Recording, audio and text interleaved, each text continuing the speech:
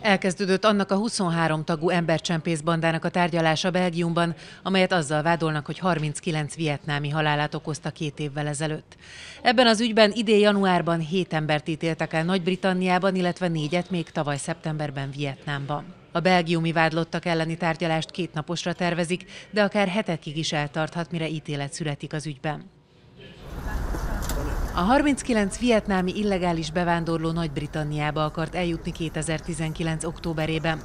Az embercsempészek egy konténerbe terelték a 31 férfit és 8 nőt, így szállították át őket a tengeren, csak hogy az emberek megfulladtak, mire Londonban kinyitották a konténert.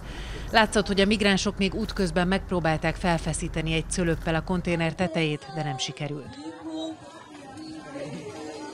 Az áldozatok többsége egy szegény vietnámi régióból érkezett, ahol a családok több ezer dolláros hiteleket vettek fel azért, hogy legalább egyikőjüket ki tudják csempészni Nagy-Britanniába egy jobb élet reményében.